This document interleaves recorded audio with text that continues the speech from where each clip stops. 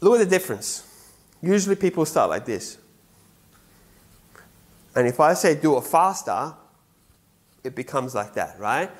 The, look at the pole itself. Look at the rigidity in the pole, the rigid movement, right?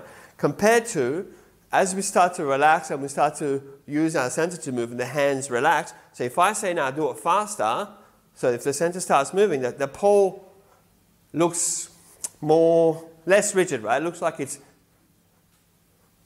and if I go a little bit faster, like that. And then here, that, that can start to later on. We'll do the power generation.